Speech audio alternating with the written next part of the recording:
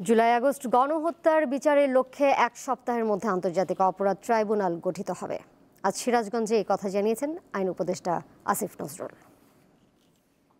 সপ্তাহখানেকের মধ্যে আমাদের যে আপনার আইসিটি যেটা ইন্টারন্যাশনাল ক্রাইম ট্রাইব্যুনাল এই ট্রাইব্যুনালে গঠিত হয়ে যাবে।